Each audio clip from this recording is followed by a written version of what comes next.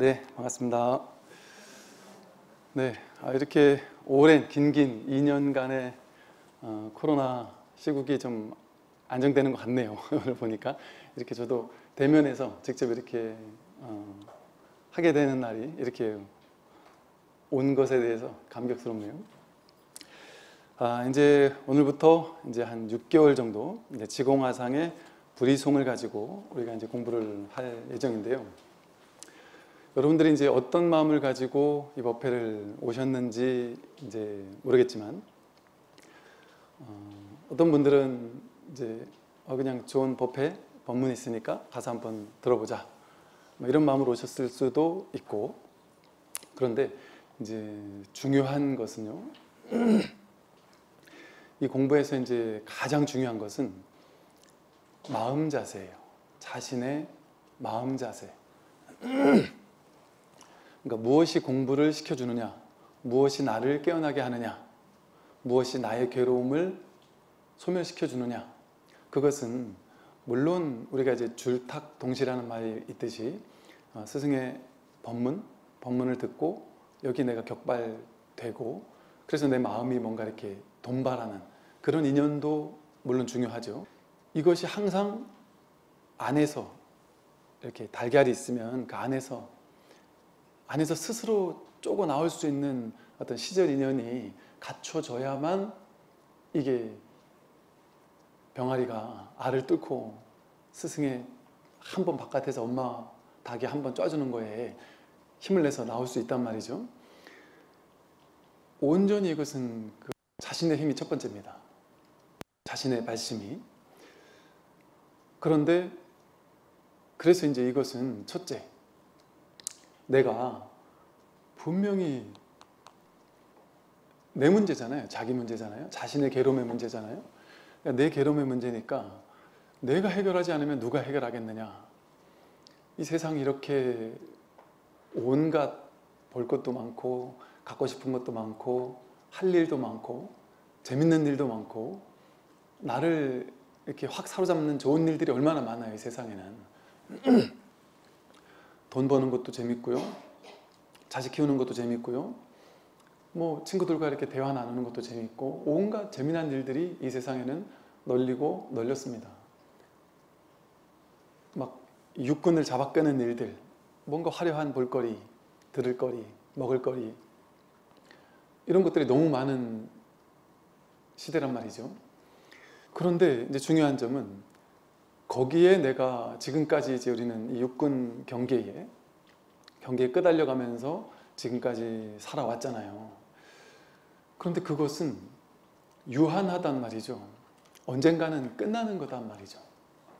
반드시 끝날 때가 있다. 그래서 내가 아무리 즐거운 것도 지금 잠깐 즐겁지만 그 언젠가는 끝납니다.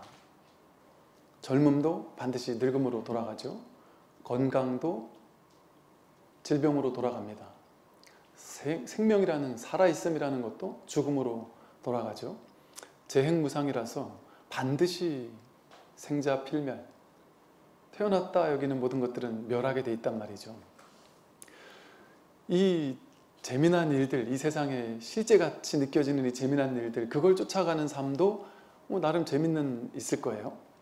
그런데 이제 그거를 하지 말라는 것이 아니라 그건 그거대로 하고 뭐 세상 돈, 돈도 벌고 자식 키우고 뭐 회사 일도 하고 가족도 돌보고 그럼 다 한단 말이죠. 재밌게 한단 말이죠. 근데 그건 하더라도 하더라도 내 마음 속에서 마음에서만은 내 인생에 그래도 현실이 이렇게 재미는 있지만 그래도 내 인생의 가장 중요한 핵심은 이 괴로움 괴로움과 괴로움의 소멸 근데 늙고 병들고 죽는 이 괴로움 이 괴로움의 문제를 해결해야 되겠다. 이게 가장 중차대한 일이잖아요. 이게 중차대한다는 말을 할 수가 없을 정도로 이것뿐이죠. 우리 인생에서 제일 중요한 것은 사실은. 나머지는 오고 가는 거고 왔다 가는 거잖아요. 아무리 좋은 상황, 조건, 여건도 무너져요. 사라집니다. 근데 이 사실을 깨닫고 나면 늙고 병들고 죽지 않는단 말이에요. 늙고 병들고 죽는 일이 있는데도 불구하고 그런 일이 없단 말이에요. 그래서 이 공부는 어, 그냥 이렇게 재미삼아 인문학 소양 교육하면서 지식을 좀 취득해서 어떤 재미삼아 듣는 그런 강의는 아니에요. 그러나 이제 겉으로는 우리가 즐겁고 재밌게 재밌게 법회도 오고 법당도 오고 뭐 도반들과 이야기도 나누고 뭐 다 좋단 말이죠. 그러나 마음 한 구석에는 뭔가 이렇게 좀 진지하게 내가 이 공부에 대한 어떤 간절한 발심 그게 딱 뿌리내리고 있는 사람과 그거 없이 그냥 절에 다니니까 재밌고 도반들 만나는 것도 즐겁고 뭐 그러니까 온다 그런 사람하고는 이제 달라요. 그래서 이 공부는 자신의 마음가짐, 발심 이걸 그래서 마음 공부라고 해요. 마음 공부라서 마음가짐이 어떠냐 이게 이제 공부의 처음이자 끝이에요. 제일 중요한 핵심입니다. 그래서 여러분들이 음 제가 설법을 하다 보면 맨날 뭐 직진심만 하는 것이 아니라 온갖 이야기를 다 한단 말이에요. 방편의 얘기도 하고 재밌는 얘기도 하고 뭐 시답잖은 농담도 하고 여러분들 졸만하면 뭐 뭐 별 희한한 얘기도 하기도 한단 말이에요. 그러면 아 중요한 얘기 할 때는 내가 정신을 딱 차려서 들으면 되겠구나. 그런 게 아니에요. 그렇게 중요한 얘기, 중요하지 않은 얘기 이런 게 따로 있는 게 아닙니다. 언제 어떻게 내가 이 자신의 자신을 대면하게 될지 몰라요.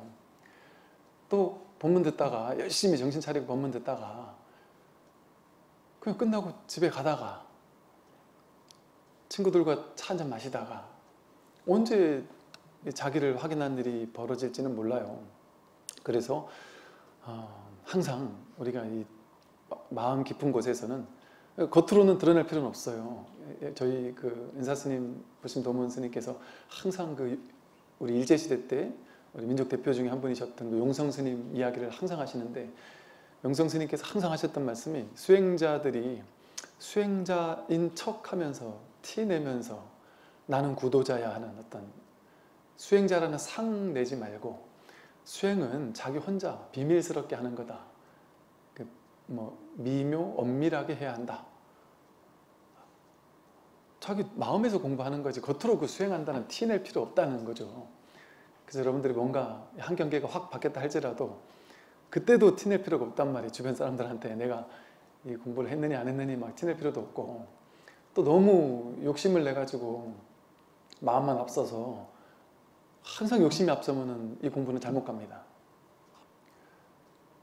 그 누가 그래요. 그 이제 돈에 집착하는 사람이나 뭐 주식 같은 걸 하는 사람이 집착이 없는 사람은 그럭저럭 큰 손해 없이 하는데 과도하게 집착을 하게 되면 완전히 망할 길로 간다더라고요.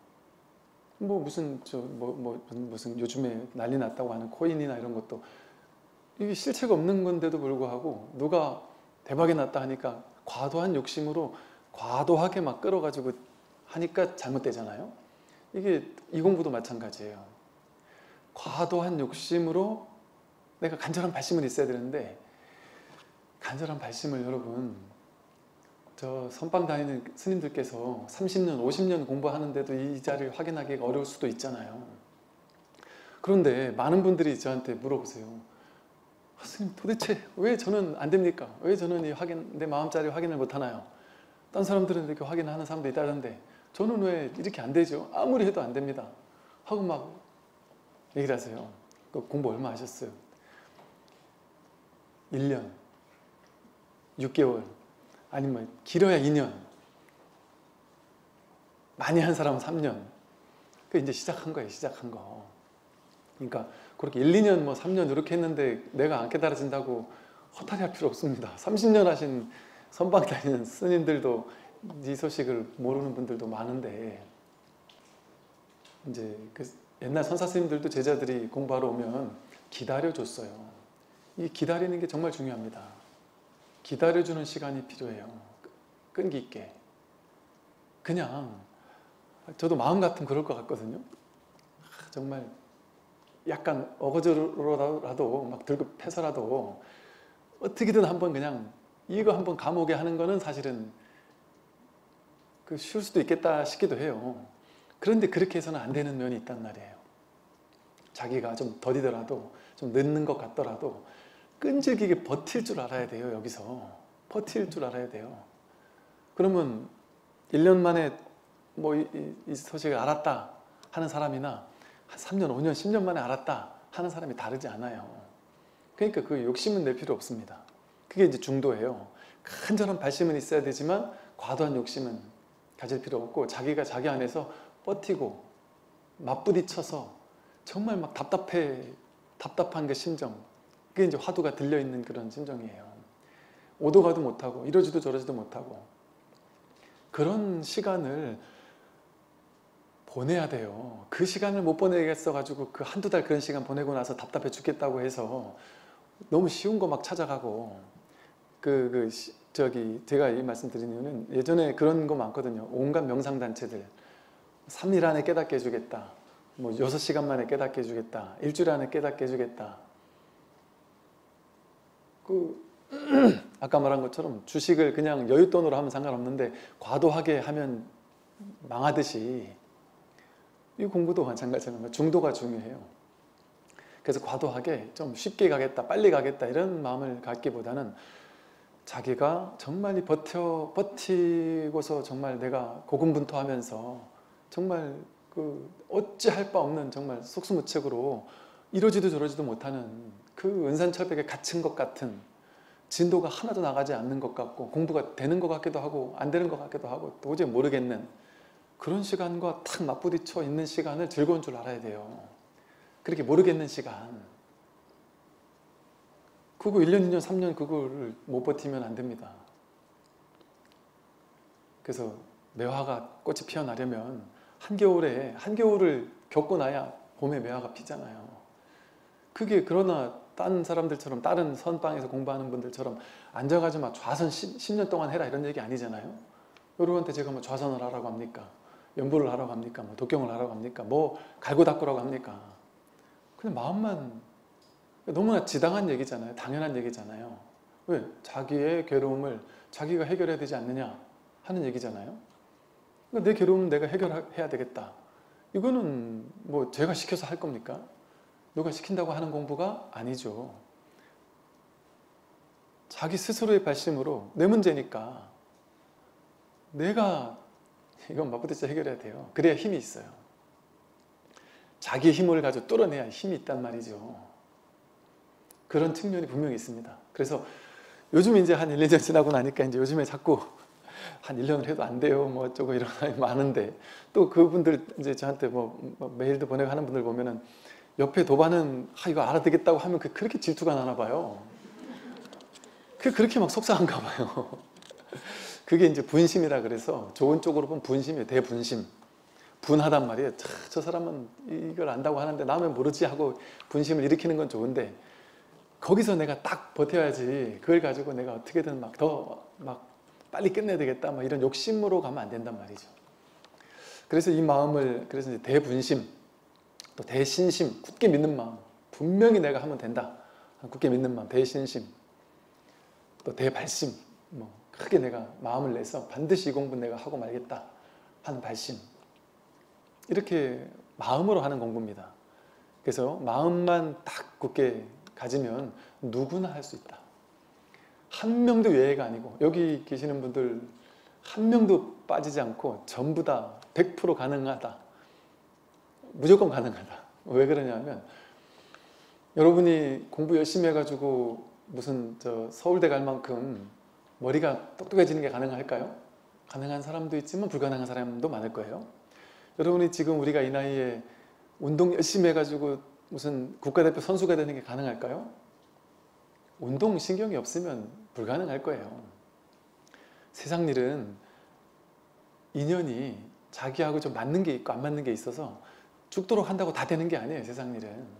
열심히 하면 좀 많이 될 확률은 높아지지만 이게 타고난 게 있어요. 타고난 게. 하다못해 부자 되는 것도 타고난 게 있잖아요. 아, 자기 복이 있잖아요. 죽도록 부자 되고 싶어도 노력만 가지고 안 되잖아요 부자가 건강도 그렇고 죽는 것도 그렇고 모든 게 마찬가지예요 맘 먹는다고 안 돼요. 세상 일은. 되는 것도 있고 안 되는 것도 있어요. 그 말은 쉽게 말하면 안 된다는 소리예요. 우리는 되는 줄 알고 나라는 걸 내세워서 내가 그것을 하겠다 하고 하니까 그게 어리석음인데 세상 일은 그렇게 내 뜻대로 안 돼요. 안 된다고 아무것도 안 하는 건 아니죠. 안 돼도 될지 안 될지 알 수 없으니까 내가 마음 나는 것, 가슴 뛰는 일을 그냥 최선을 다해 한다. 한다는 거예요. 결과 집착 없이.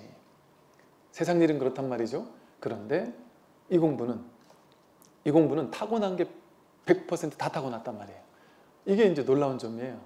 세상 일은 타고난 사람, 안 타고난 사람이 일마다 달라요. 내가 여기 좀 타고났나 안 타고났나가 다 달라요, 사람마다. 그런데 이 공부는 이 딱 하나 이 출세간의 이 마음 공부 이것만은 100% 완벽하게 똑같다. 평등하게 똑같이 갖추어져 있다. 원망 부족하다. 종정 스님과 우리가 똑같다. 석가모니 부처님과 우리가 똑같다.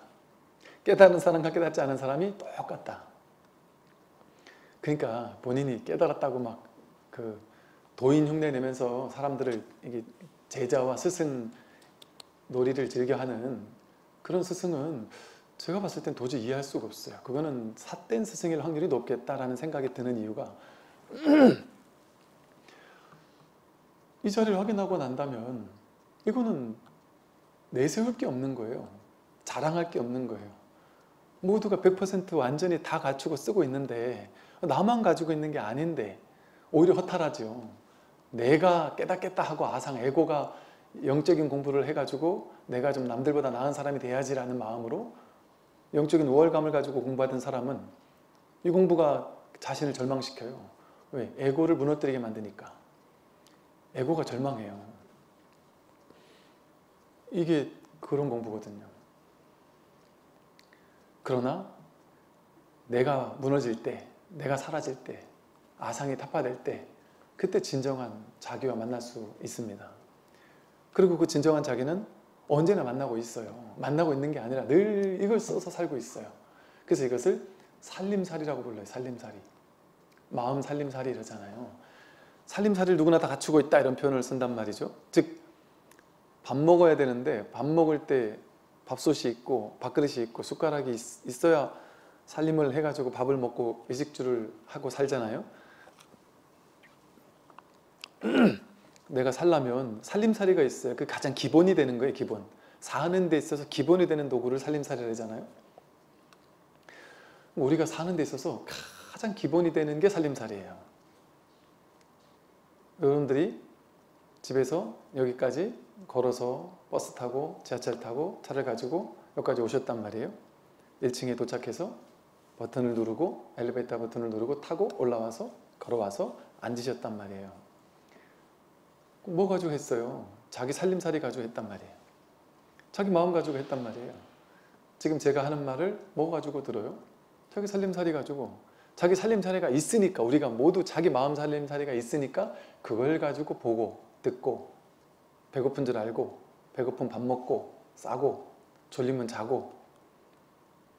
이게 자기 삶의 살림살이가 본래 갖추고 있고 그걸 지금까지 100% 쓰고 살아왔단 말이에요 우리가. 모두 다 완벽하게. 갓난에게 응애응애 자기 살림살이 가지고 타고난 살림살이 가지고 응애응애 하는 거예요. 그래서 본래 있던 거를 뭐 늘 갖추고 있는가 늘 쓰고 있는가. 없던 것을 갑자기 만들어내는 공부가 아니에요 이 공부는. 본래 있던 거를 확인하는 공부예요.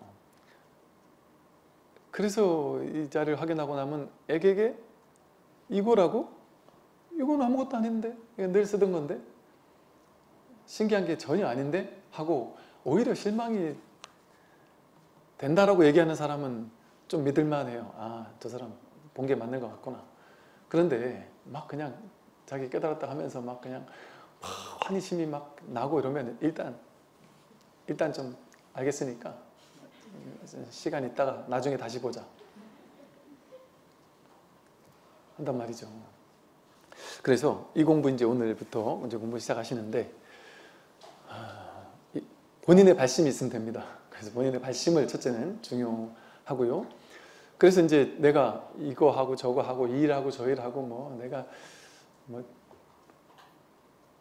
뭐 할 거 다 하고 내가 나머지 할 일 다 하고 내가 일단 등록은 해놨으니까 시간 되면 가서 듣고 막 시간 안 되면 말고 막 그렇게 하셔도 상관은 없는데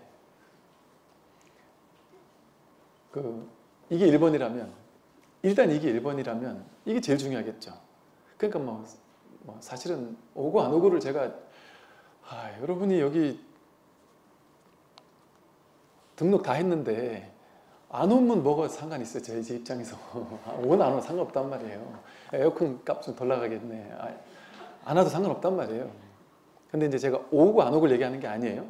그만큼 내가 이 공부가 중요하냐? 그걸 얘기를 하는 거예요. 그러니까 이 공부가 중요한 사람은 옛날에 스승 찾아서 어떻게 갔어요 골망 짊어지고 산으로 들러 3개월, 6개월씩 걸어서 그 스승을 찾아갔어야 된단 말이에요. 지금은 그렇지 않잖아요. 그냥 한 시간 지하철 타면 그냥 다닥 도착하잖아요. 그런데도 이 공부를 안 하겠다 하면 어, 그 안 되죠. 그 스님들 옛날에 제가 공부 한참 여기저기 다닐 때 보면 스님들이 뭐 한 3시간, 4시간 거리에 계신 스님들이 이 공부가 너무 중요하니까 한 30분이나 1시간 강의 들으려고 막 한 서너 시간씩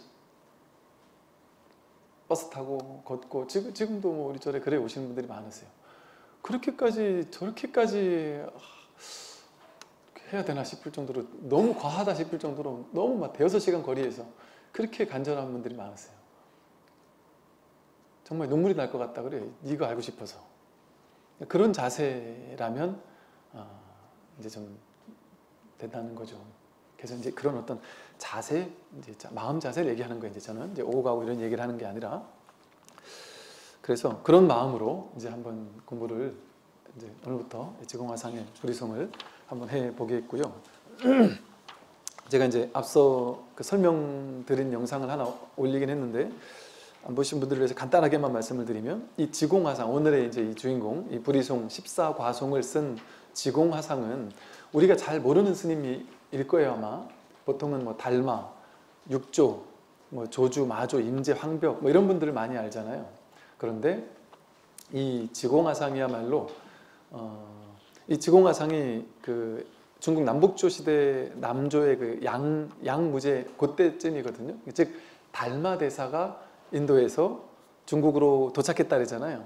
그 달마 대사가 중국으로 왔던 그 즈음이에요 근데 그 즈음에 이미 이런 지공화상 같은 안목을 갖춘 스님이 이미 있었던 거예요.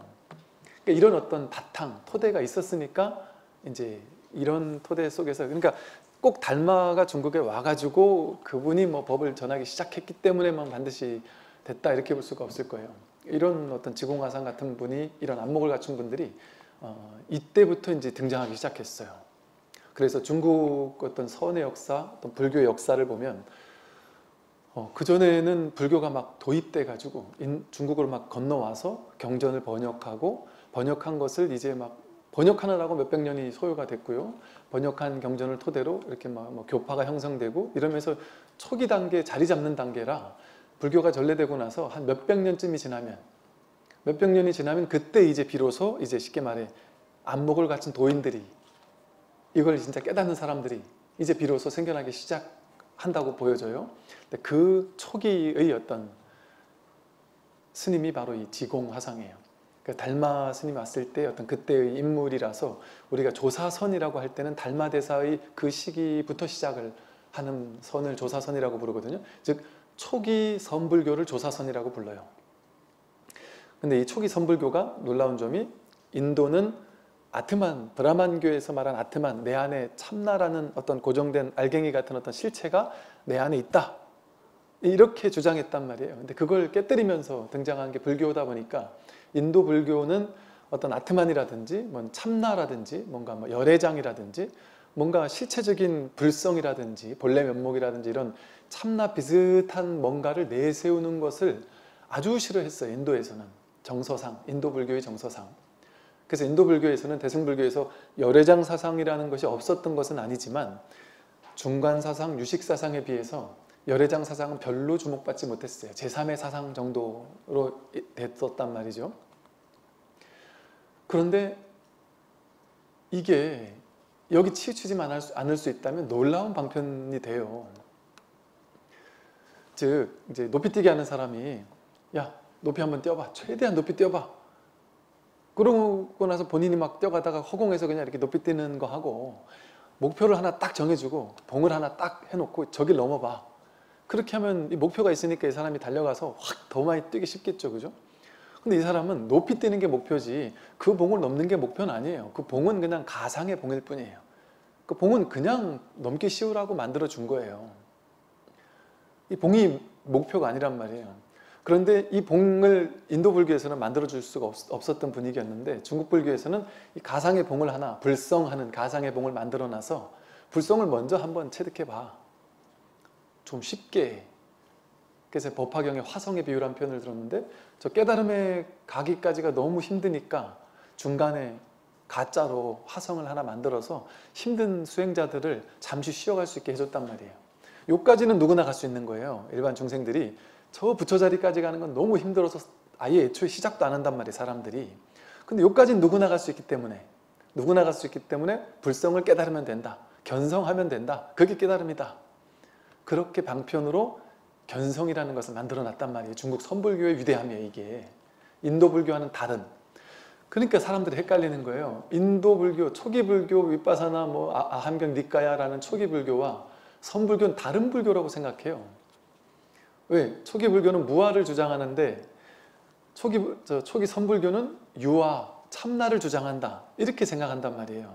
석가모니 부처님은 무아를 주장하는 분이 아니에요.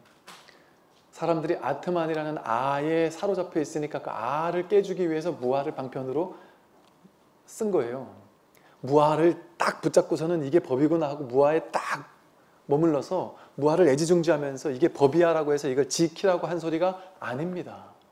근데 지금 무아를 지키고 서가지고는 선불교는 무아가 아니기 때문에 틀린 거야 이렇게 얘기하는 사람이 있단 말이에요. 그 사람은 무아를 지키고 있는 거예요. 선불교는 그러면 유아를, 참나를, 불성을, 본래 면목을 지키고 있느냐? 선불교 본래 면목을 지키고 있지 않습니다. 시부도의 열 가지 단계 중에 중간에 소가 소를 찾고 소를 키우다가 소가 사라지잖아요. 나도 사라지고 소도 사라진단 말이에요. 소가 필요 없었던 거란 말이에요. 뭐 애초부터. 그런데 소라는 중간 단계를 하나 만들어 놔서 아, 소를 확인하는 건 쉽단 말이죠. 자기가 늘 쓰고 있는 본래 면목, 본래 자기 살림살이니까. 그래서 이 쉬운 자기를 확인하는 단계를 먼저 하나 만들어 놓은 거예요. 근데 그 자기가 유아 같은 어떤 있는 게 아니에요. 있는 게 아니에요. 있다라고 해도 틀리고 그렇다고 없다라고 해도 틀려요. 그래서 이게 바로 중도적인 거란 말이에요. 불성이라는 게. 그러니까 유무 중도예요. 불성은 있냐? 있는 게 아니다. 그거 없냐? 없는 것도 아니다. 그러니 이 불성이 있다고 주장하는 게 아니라니까요. 선불교는. 초기 불교 석가모니 부처님의 가르침과 똑같은 가르침이에요. 그런데 방편이 다른 거예요. 방편이. 그러니까 지금 불교의 역사가 이어오면서 음, 법은 달라질 수 없어요. 법은 달라질 수 없는데 방편은 달라질 수 있죠. 교수법은 달라질 수 있어요. 요즘 다양한 교수법이 막, 막 진일보 하는 것처럼 불교도 마찬가지예요. 이 교수법은 놀랍게 발전할 수 있고 지금 상당히 교수법이 많이 발전되고 있는 것 같아요. 제가 어릴 때 공부할 때 비해서도 지금 놀랍게 와 지금 느낌에는 그래요. 옛날에 왜 그 큰 스님들이 맨날 주장자 때리면서 왜 이렇게밖에 얘기를 안 하셨을까? 왜 맨날 그 중국 고리타분한 중국 그 스님들의 선문답만 얘기를 하면서 알 듯 모를 듯 그냥 그 얘기만 하고 끝냈을까? 물론 그것만 하고 끝낸 건 아니에요. 안 그런 분들도 계시, 계시는데 우리가 안목이 부족하니까 못 봤던 것이겠지만 그래서 이 선불교라는 놀라운 교수법이 이 불교 역사 속에서 등장했다라는 것은 이거는 완전 불교 역사에서 충격적인 사건이에요. 왜 충격적인 사건이라고 하느냐면 석가모니 부처님의 그 법력, 그 깨달음의 어떤 힘, 지혜 이것 때문에 여러분 부처 인도 불교에서 부처님 당시에 석가모니 부처님이 살아계시던 그 당시에 정말 많은 제자들 출제가 할 것 없이 여러분 아함경 니까의 책 보세요. 석가모니 부처님의 직설이라고 알려져 있는 아함경과 니까를 보면 스님들만 깨달은 게 아니에요. 제가 불자들도 똑같이 깨달았어요. 석가모니 부처님이 출가자들에게만 법문하신 게 아니에요. 탁발하고 와서 출가자들에게 법문하고 오후에는 일반 신도님들이 다들 법당에 오셔서 법문을 듣고 깨달았어요. 그러니까 이 인원수로 따지면 제가자들이 훨씬 더 많이 깨달았을 거예요. 즉 출가자는 깨달을 수 있는 좀 더 좋은 조건이 갖춰져 있고 제가자는 안 갖춰져 있느냐 그런 게 없었어요. 똑같이 깨달았어요. 조건이라고 하면 사실은 안한 존자가 가장 깨달을 조건은 제일 좋잖아요. 석가모니 부처님 친척이고 석가모니 부처님이 가장 총애하던 사촌 동생이고 왕자 출신이라 머리도 똑똑하고 인물도 잘났고 부처님 법문을 가장 많이 옆에서 들을 수 있었고 한 번 들으면 잊지 않는 불망념지라고 해서 아주 쉽게 말해 기억력이 뛰어났단 말이에요. 부처님 법문을 다 암기했단 말이에요. 그러니까 나중에 불교 경전이 아함경 저 안한존자가 외운 것을 줄줄이 이렇게 경전으로 만든 게 아함경 니까이거든요. 그렇게 놀라운 일반인들은 가지지 못한 특별한 재능까지 있었어요.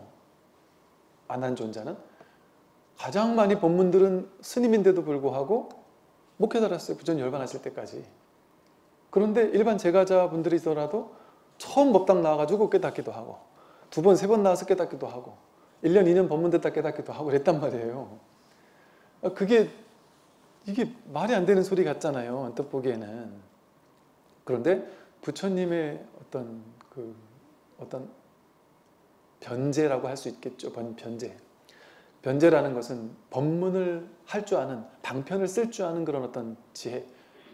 대승불교 경전에서도 우리가 육바라밀을 닦아야 된다고 하는데 공부하는 사람은 육바라밀을 닦으면 되는데 육바라밀이 결국엔 하나예요. 평등하게 하나를 닦는 건데 육바라밀인데 법을 펴는 수행자들, 법을 펴려고 하는 중생을 구제하려고 하는 보살들, 보살들은 이제 중생을 구제하는 또 다른 능력이 요구가 돼요. 그게 이제 방편이 있어야 되고 원력이 있어야 되고 중생을 구제하겠다는 내가 먼저 깨닫는 게 아니라 중생을 먼저 깨닫게 하겠다는 원력이 있어야 되고 그 또 힘이 있어야 된단 말이에요. 힘이 없으면 사람들이 끌려가지를 않아요. 그 사람의 알 수 없는 어떤 끄는 힘이 있어야 된단 말이죠. 또 이 현실에 대해서도 좀 잘 아는 어떤 현실 변제, 지식도 좀 있어야 된단 말이에요. 그래서 이런 걸 가지고 법문을 자유자재로 할 수 있고 그 사람의 근기에 맞춰서 다양하게 법문할 수 있는 이런 능력을 석가모니 부처님은 완벽하게 갖추셨단 말이에요. 그게 이제 인연법인 것이 부처님은 왕자 출신이잖아요. 인도에서 그 당시에 부처님 같이 온갖 분야에 온갖 분야의 모든 공부를 다 한 분이 없단 말이에요. 그 당시. 온갖 뭐, 뭐 철, 천문학, 무슨 뭐 어문학, 모든 학문을 뭐 수학, 뭐 모든 걸 다 했단 말이에요. 그러니까 그 당시 가장 최고의 어떤 그 지식을 다 소유했던 분이란 말이에요. 그러니까 그런 어떤 변제가 뛰어났단 말이죠. 그러니까 그런 어떤 그 부처님의 어떤 법문의 힘 이런 것을 통해서 무수히 많은 사람들이 막 집단적으로 깨어났죠. 놀라운 일이 벌어졌죠. 충격적인 일이 벌어진 거죠. 그런데 애석하게도 부처님의 그 어떤 변제 내지는 그 부처님의 그 중생들을 딱 구제하는 그 힘, 그거를 그 이후에 많은 제자들은 그거를 다 갖춘 제자들은 별로 없었던 것 같아요. 그러다 보니까 이제 그 이후 부처님께서 열반하신 이후에 부파불교로 쪼개지면서 부파불교의 논사들은 부처님처럼 막 교화를 한 게 아니라 오히려 종파를 나눠가지고 스님들끼리끼리 부처님 경전을 내가 더 잘 연구했느냐, 니네가 더 잘 연구했느냐, 니네가 더 정통이냐, 우리가 더 정통이냐 이거 가지고 이제 폐쇄적으로 중생구제는 안 하고 교학을 연구만 했단 말이에요 머리로. 그러니까 부파불교를 우리가 그다지 썩 쳐주지 않는단 말이죠. 그리고 이제 오랜 세월이 흘렀어요. 그리고 이제 대승불교 경전들이 부파, 불교에서 스님들이 잘못하는 걸 보고서는 저렇게 해가지고 저게 부처님 뜻과 맞느냐. 교리도 어긋나고 부처님이 정신과 완전 어긋나 있지 않느냐.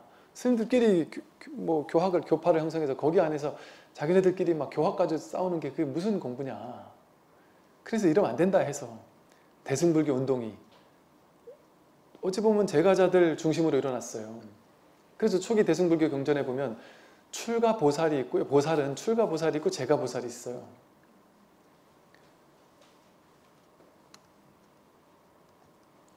뭐, 뭐 문수보살, 뭐 지장보살 이런 분들은 출가보살이고 뭐 관세음보살 또 뭐, 뭐 미륵보살 같은 경우는 출가 제가가 좀 왔다 갔다 하는 분이시고 이게 출과 제가 누구나 평등하게 보살이 된단 말이죠. 그러니까 그런 보살들이 이 대승불교를 만들어 대승불교를 이렇게 부처님 당시로 돌아가자 해서 한번 만들어냈는데 그 당시는 부처님의 어떤 그 영향력이 너무 강해서 자기 이름을 내세우고 경전을 만들 수가 없었단 말이에요. 근데 이제 그렇게 오랜 세월이 흐르다가 이제 인도에서 이 지공화상을 필두로 달마 스님을 필두로 해서 이제 제2의 붓다라고 할 만한 놀라운 어떤 법을 지니고 어떤 덕화를 지닌 복과 지혜를 함께 구족하신 그리고 이 지공화상 같이 지공화상이 그랬다리거든요. 그 수많은 황제들 그 남조에 있었던 다양한 그 임금들 황제들이 지공화상이 당시 계실 때 얼마나 그 법이 훌륭했을 뿐 아니라 덕화도 뛰어나서 황제들이 자신의 권위를 뭔가 내세워야 되는데 황제면 가장 높은 권위인데도 불구하고 황제가 자기의 어떤 권위를 내세우기 위해서 내가 벌써 옛날에 돌아가신 옛날에 열반하신 지공화상 그 지공화상에게 내가 법포를 내려준 왕이야. 나 이 정도의 왕이야. 지공화상도 나에게 법, 법포를 받으셨다니까? 그게 황제들이 자기를 내세울 수 있는 공신력 있는 이런 거라고 느낄 정도로 그럴 정도로 수많은 황제들이 막 앞다퉈서 제일 먼저 하는 게 지공화상에 일미 열반하신 스님 법포를 자기가 막 이렇게 이름을 내려드리고 그렇게 했을 정도로 그만큼 현실적으로도 가마가 깊으셨고 이 법으로서도 아주 이 법의 안목이 투철하셨단 말이죠. 여기 이제 계속 공부하면서 보겠지만 안목이 워낙 뛰어나셔요. 그런데 이 뛰어나신 안목을 이 당시 황제들이 알아봤다라는 게 놀라워요. 좀 충격적으로 놀라워요.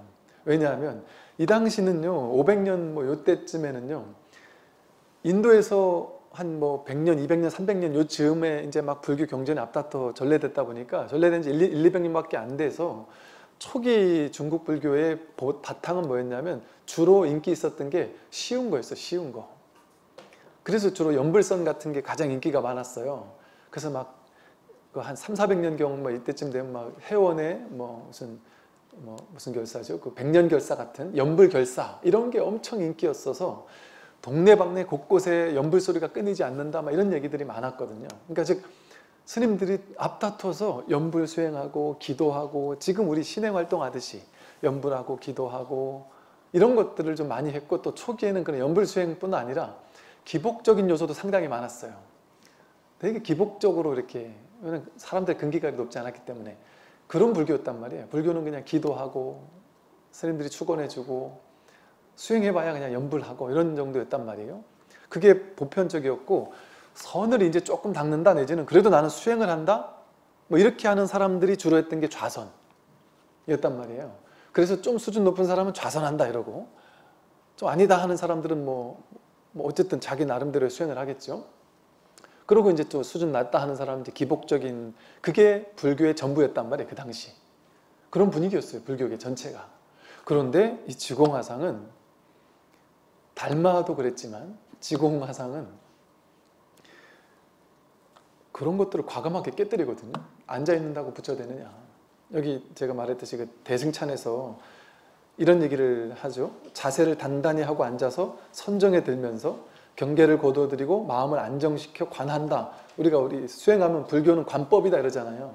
앉아가지고 좌선에서 관법을 하거나 이 소리예요. 좌선을 하거나 그런 수행을 하는 것은 마치 나무로 만든 꼭두각시가 돌을 닦는 것과 같으니 어느 세월에 피안에 도달하겠느냐 이런 식으로 기존의 불교계에서 하던 모든 행태를 과감하게 깨뜨렸단 말이에요. 그렇게 해서 깨닫는 거 아니다. 유의 조작의 수행을 통해 깨닫는 거 아니다. 이런 얘기를 시작하신 어떤 원조격이란 말이에요. 그 이후에 이제 육조 스님, 마조, 황벽 뭐 이런 스님들은 아주 그냥 뭐 참선하는 사람들 막 그냥 옆에서 뭐 벽돌을 갈고 그러듯이 그리고 잠자는 임재에게 황벽이 잠자고 있는데 막 저 열심히 정진하고 있는데 앉아서 좌선하는 스님한테는 너는 지금 깨어르게 뭐 하고 있, 이 놀고 먹고 뭐 하고 있는 짓이냐 참선하는 스님한테 임재는 누워서 잠자고 있는데 쿨쿨 자고 있는데 저 저렇게 임재는 저 열심히 정진하고 있지 않느냐 이렇게 얘기를 했단 말이에요. 이게 놀라운 파격이에요. 선은 이렇게 격식을 깨뜨리면서 등장을 해요. 그래서 이것을 받아들일 수 있는 사람만 이 법문을 들어요. 이걸 못 받아듣는 사람은 이 법문 못 들어요. 지금도 마찬가지예요. 이 당시도 어땠겠어요? 아무나 이 법문을 못 들어요. 말이 안 되잖아요. 상식적으로 이해가 안 되잖아요. 왜? 우리의 머리는 상식이라는 것은 인과 원인을 갈고 닦아서 결과를 얻는다. 인과법에만 제한돼 있거든요. 운동 열심히 해야 운동, 운동을 잘하죠. 공부 열심히 해야 공부를 잘하잖아요. 다 인과잖아요.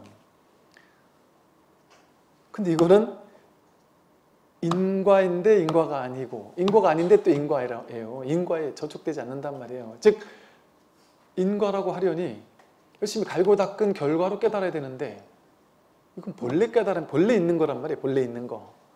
그런데 그렇다고 완전히 인과가 아니라고 하려니 이렇게 법문을 듣고 발심을 하고 뭔가 열심히 하려는 마음을 내서 법회도 오고 이래야만 또 어쨌든 그 인연이 시절 인연이 탁 맞아 떨어지잖아요. 그런 걸 보면 또 인과가 아니라고도 할 수 없어요. 그런 인간이 인과가 아닌 이런 거에 이렇게 걸려서 이것을 해석할 수 있는 분별로 이걸 어떻게 할 수 있는 공부가 아니란 말이에요. 근데 세속에서는 인과 딱 이것만을 아니까 이렇게 비인비과 같은 뭐 수행한다고 깨닫는 거 아니다 이런 얘기를 하면 좀 미친놈이다 이렇게 얘기하기가 딱 좋단 말이죠.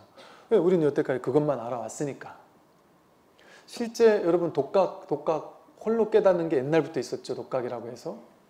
지금 서양에서 유명한 깨달았다는 사람들은 주로 독각이에요. 처음에. 견성, 자기 성품을 확인할 때까지는 독각으로 혼자 깨달았는데 그 이후는 혼자 안 돼요. 이거는 거의 철칙과 비슷해요. 그래서 혼자 깨달은 서양의 독각들이 이후 공부, 자기 보임을 선어로 경전에서 다 도움을 받았다라고 얘기를 하고 있어요.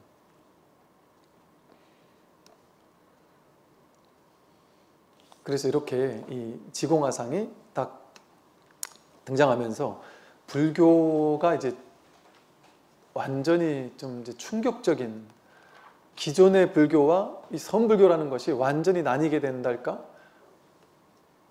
이게 이게 불교 맞아? 이게 도대체 뭐지? 뭐 충격적인 불교가 등장을 한 거예요. 어떤 역사학자들은 종교학자들은 이런 표현을 들어요. 중국에서 선불교가 등장한 것이 종교 역사상 종교 역사상 석가모니 부처님이 등장했던 사건 이후에 가장 위대한 사건이었다. 어찌 보면 인류 역사상 가장 위대한 두 번째 사건이었던 거예요. 왜냐하면 인류 역사상 집단적으로 깨어나던 일이 일어 벌어진 것이 첫 번째가 석가모니 부처님 당시였고 두 번째가 이렇게 선의 황금기 때. 첫 번째는 석가모니 부처님이라는 한 명의 놀라운 뛰어난 각자가 만들어낸 일이라면 두 번째는 조사들의 시대였던 거예요. 이렇게 지공화상이라든지 달마라든지 2조, 3조, 4조, 5조, 6조 그 이후에 6조의 제자들 그렇게 한 2, 300년간 펼쳐졌던 그 조사 스님들의 시대 그걸 조사선이라고 부르는 거예요. 그래서 그래서 부처님 한 분이 사람들을 깨닫게 한 게 아니라 다양한 조사 스님들이 많은 중생들을 깨닫게 만들었던 시대 그때가 이 조사선의 시대예요. 그리고 이 조사선의 시대가 석가모니 부처님 시대와 똑같이 석가모니 부처님 당시도 제자들이 법문 듣고 그냥 깨달았어요. 아, 한경 니까에 생생하게 중계되고 있잖아요. 질문하고 답변하고 부처님께서 법문하고 법문 끝에 몇 명이 깨달았다. 몇 명이 아라한가를 증득했다. 이런 얘기가 나오잖아요. 심지어 제가자들이 몇백 명이 동시에 아라한가를 증득했다. 이런 얘기까지 나온단 말이에요. 선사 스님들의 시대가 또 그랬어요. 이 조사 스님들의 시대가. 법문 듣고 깨어났어요. 언하대오라고 불러요. 언하 변호. 말 끝에 깨닫는다. 법문 듣다 깨닫는다. 말마디 끝에 깨닫는다. 여기 선사 스님들이 깨어났던 깨달았던 인연, 그 이제 기연이라고 불러요. 기연. 깨달음의 기연을 담고 있는 내용들이 이제 뭐 무슨 그 선어록이라든지 무슨 뭐 저 저 다양한 성, 저, 저 무슨 뭐 벽암록이라든지 무슨 뭐 전등록이라든지 이런 다양한 책들 우리가 뭐 직지라든지 이런 것들이 선사 스님들이 깨어난 사연을 딱 적어놓은 책들이거든요. 근데 그런 책들을 보면 이렇게 좌선하다 말고 탁 깨달았다 이런 얘기가 없어요. 그 삶 속에서 깨닫지. 법문도 딱 깨닫고 스승과 문답하다 깨닫고 아니면 일상생활 속에서 깨달아요. 생활하다 깨달아요. 그 스승은 계속 돈 밝게 하는 거예요. 법문을 통해서. 그래서 선불교 이 조사 스님들의 시대에 제일 중요했던 것은 뭐였냐면 법문 듣는 거였어요. 선방이 없었어요. 선방은 나중에 후대 불교로 가면서 만들어지기 시작했어요. 그리고 선방에서 좌선하는 것은 필수가 아니라 선택사항. 전공 필수가 아니었단 말이에요. 교양 과목 같은 거였단 말이죠. 할람 하고 말람 말고.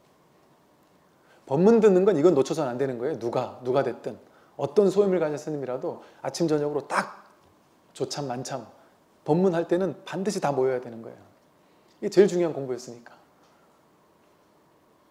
그러니까 그러니까 옛날 선방에 선, 선사 스님들이 계시는 절에는 방장실, 방장 스님, 그 주지 스님이 머물러 있는 곳 방장실이 있었고요. 그리고 나서 제일 먼저 짓는 게 뭐였냐면 설법당이었어요. 그걸 법당이라고 불러요. 법당과 불전은 달랐어요. 법당은 설법당을 줄여서 법당이라고 하거든요. 그래서 이건 설법하는 곳이라서 여기는 부처님을 모시지 않아요. 지금도 저기 불국사 앞에 대웅전이 있고 그 뒤에 가면은 설법전이 있거든요. 큰 거기는 부처 지금 모신나 모르겠는데 부처님 원래 모시지 않아요. 그 강당이에요. 강당 넓은 강당. 그 모든 스님들이 다 모일 수 있는 모든 불자들이 다 모여서 법문 들을 수 있는 그걸 법당이라고 불렀어요. 그것도 이제 나중에 불전은 나중에 생겼어요. 그러니까 대웅전 같은 부처님을 모시는 정각 이런 건 이제 나중에 생겼단 말이죠. 그러니까 이 설법이 제일 중요했었단 말이죠.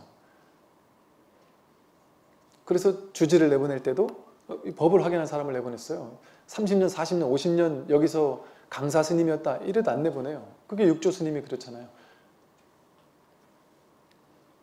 저 육조 스님, 육조 혜능 말고 신수 스님은 그 절에 오조 스님이 계신 그 막 천여 명 넘게 있는 스님들이 있는 그 절에 number two 강사였단 말이에요. 강사, 강사 이제 불교대학 학장 같은 거 있죠. 쉽게 말해. 강사 스님이었단 말이에요. 제일 높은 사람이죠. 조실 스님보다 오조 홍인 다음으로 높은 스님이었단 말이에요. 그 30년, 40년 선배였고 나이도 많았고.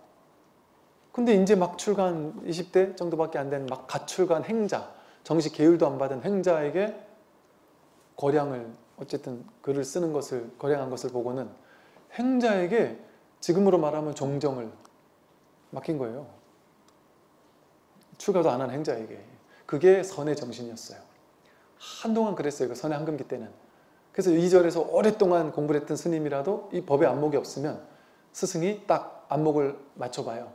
그래서 안목 있는 사람을 무조건 어디 절에 절이 생겼다. 주지가 비었다. 그럼 그 안목 생긴 사람을 보냈어요. 왜냐하면 주지는 뭘 주지라고 했냐면 그 당시는 절에 부처님을 모시지 않았다 그랬잖아요. 왜 안 모시지 않았냐면 주지가 부처였기 때문에 그래요. 쉽게 말하면. 부처의 안목을 갖춘 사람만 주지로 내보냈기 때문에 주지가 있는데 뭐하러 부, 부처님 불상이 필요하냐 이런 개념이었단 말이에요. 선, 선불교 초기의 시대에서는. 그러니까 안목을 갖추지 않으면 죽었다 깨어나도 자기가 아무리 경력이 오래돼도 주지를 나갈 수가 없었던 거죠. 이게 선의 파격이에요. 격식을 깨뜨리는 나이 많고 적음이 소용없었단 말이에요. 그 이제 첫 발을 내디딘 스님이 이제 이 지공화상이고요. 어, 지공화상이 쓴 오늘 공부할 이 불이송은요. 사실은 지공화상이 불이송, 14과송이라고 더 많이 알려져 있어요. 이 불이송과 대승찬이라는 여러분 저기 그 다리 아프신 게 당연하고요. 그 다리가 안 아프면 그 이상한 사람이에요. 그래서 전 어릴 때 이게 절에 가면은 맨 앞에 앉아서 허리를 꼿꼿하게 한 시간 반 흔들리지도 않는 사람을 제일 부러워했거든요. 근데 전혀 부럽지 않더라고요. 지금 생각해 보니까. 그, 그걸 부러워한 내 생각이 분별심이었어요. 꼿꼿하게 있어도 아무 문제 없는 사람은 그래도 상관없지만 뭐 그거 스트레스 받지 마시고 마음 편하게 마음 편하게 편안하게 다리를 좀 피셔도 괜찮아요. 우리 불교에서는 부처님을 향해서만 피지 마라. 이제 불교의 문화처럼 돼 있는 게 부처님을 향해서만 피지 마라는 게 중앙을 향해서만 안 피고 약간 옆으로 피시면 되지 않겠나 싶어요. 그래서 다리 아프신 분들은 조금 이렇게 다리를 좀 피시기도 하시고 좀 편안하게 편안하게 들으셔야 돼요. 그래야 음, 좋겠습니다. 어, 그래서 이, 이 지공화상의 대승찬이라는 게 우리 선에서 교과서 같은 어떤 3대 선시라고 해서 뭐 대승찬, 뭐 신신명, 증도가 이래서 아주 되게 유명한 그 세 가지 선시 그래서 선의 안목을 가장 잘 드러냈다 라고 하는 걸 이 세 가지를 꼽아요. 그래서 그 중에 하나가 대승찬이고 그런데 이제 대승찬보다 덜 알려졌지만 대승찬에 못지 않은 이 불이법의 안목을 특히나 이 불이법의 안목을 탁 대놓고 그냥 아주 직절하게 드러낸 곧장 드러내고 있는 그런 어떤 그 선의 어 좀 우리가 크게 알지 못하는 그런 어떤 공부가 이 어, 부지수홍 14가정이고요. 제가 그 말씀드렸죠. 이제 직지라는 그 우리 한국에서 나온 이 그 직지 심체 요절이라는 이 직지 심경이라도 부르는 이것이 지금 세계적으로 상당히 주목을 받고 있어요. 그 뭐 성경이 서양사를 서양, 서양의 역사를 뒤바꿔 놓은 가장 중요한 사건을 꼽으라면 그 성경 구텐베르크가 성경을 이렇게 인쇄했던 그게 가장 위대한 그 서양의 문화를 뒤바꿔 놓은 사건이라고 첫 번째 사건이라고 꼽거든요. 그런데 그것보다 뭐 근 100년 가까이 7, 80년인가요? 하여간 훨씬 앞서서 이렇게 인쇄 술을 어떤 등장하게 만들었던 그 책이 이제 직지 신체 요절이라는 한국이라는 땅에서 세계에서 가장 먼저인 거예요. 그래서 이게 어떤 문화재적인 가치가 어, 놀랍다 보니까 사람들이 문화재적인 가치로 지금까지는 많이 접근을 했어요. 그런데 얼마 전에 보니까 그 뭐 유럽에서 다양한 매체, 언론 매체들에서 이 직지의 어떤 이 가치를 막 선양하는 다큐멘터리를 많이 찍고 있어요. 그 저만 해도 지금 벌써 최근에 한 두 군데 언론사에서 직지 관련된 다큐를 찍고 있다고 하면서 어 이렇게 인터뷰 요청을 하시는데 너무 놀라운 점이었어서 제가 너무나도 그 좋았던 점이 뭐였냐면 기존에 직지에 관련된 다큐가 많이 있는데 그건 전부 다 직지의 문화재적인 가치만 조명하고 있어요. 그 직지가 뭔 내용을 담은지는 전혀 관심이 없는 거예요. 왜? 너무 어려우니까. 선문답 같은 어려운 얘기 막 적혀 있으니까. 그러니까 이 내용은 관심이 없었단 말이죠. 그런데 엊그제 같으면 그 저 유명한 이제 중앙 방송인데도 불구하고 거기서 그 PD가 PD 분이 기독교 신자예요. 그런데 그분이 이번 우리가 만들 다큐는 직지 다큐는 직지의 문화재적 가치가 아니다. 직지가 왜 이 알맹이가 더 중요한 것이다. 한국에서 나온 이 직지라는 이 선불교의 어떤 책이 사실은 인류의 정신 문화를 뒤바꿀 만한 놀라운 어떤 정신적인 가치를 담고 있는 인류의 어떤 정신 세계를 완전히 선도할 만한 놀라운 인류 문명사의 가장 위대한 것이 라는 것을 보여주고 싶다는 거예요. 드러내고 싶다는 거예요. 그러면서 본인들이 막 공부를 하면서 했더라고요. 제가 전에 이제 유튜브에다가 직지 강의 한 번 하면서 인류의 인류 정신문화에서 가장 위대한 어떤 교과서와 같은 것이다. 앞으로는 이것이 인류 정신 문명의 가장 어떤 말 그대로 교과서처럼 바뀔 것이다. 이런 식으로까지 해서 제가 이렇게 막 썸네일을 만들어서 이렇게 얘기한 적이 있었거든요. 어떤 분들은 이게 좀 이제 어그로를 끌려고 하는 게 아니냐. 뭐 인류 정신 문명의 무슨 교과서 말이 되냐. 이렇게 얘기를 한단 말이죠. 제가 그냥 한 소리가 아니란 말이에요. 이게 다른 뭐 전등록이나 무슨 정용록이나 뭐 다양한 중국에서 나온 그 이제 선사스님들의 깨달음 기연을 적고 있는 어록들이 많아요. 그런데 이 직지만의 놀라운 특징이 있어요. 직지만의 놀라운 특징. 그 대부분 그 선의 어록은 그냥 막 이렇게 모아놨거나 아니면 이제 나중에 만들어진 것은 주로 송대 이후에 만들어지잖아요. 송대 이후에 만들어진 것은 가나선이 나온 이후다 보니까 가나선을 중심으로 이렇게 만들어졌어요. 그런데 이 직지는 뭐냐면 초기 조사선 있잖아요.